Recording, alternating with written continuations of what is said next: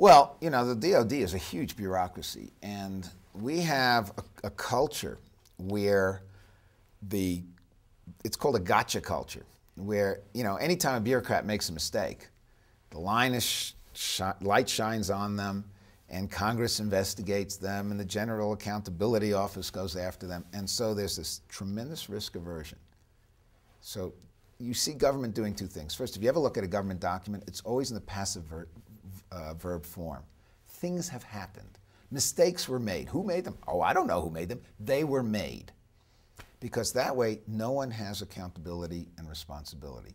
If people were given a little more slack to make mistakes, then they would probably be a lot more accountable. Well, take it to the next level.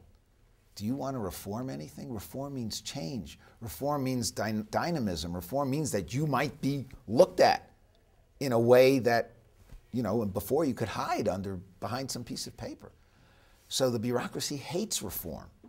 When Rumsfeld came in, uh, he wanted to transform the Pentagon. And one of the things he did was ask me to change the way we handled our financial management because nobody paid much attention to it. Well, one of the things I found was the people who worked in that area were themselves so dismissive of their work that they were nine to fivers.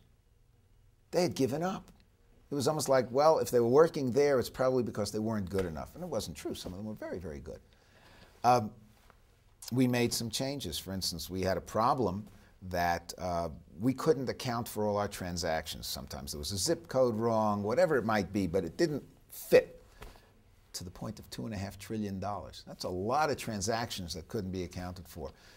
I started a process. Now I think the problem is not measured in a few millions.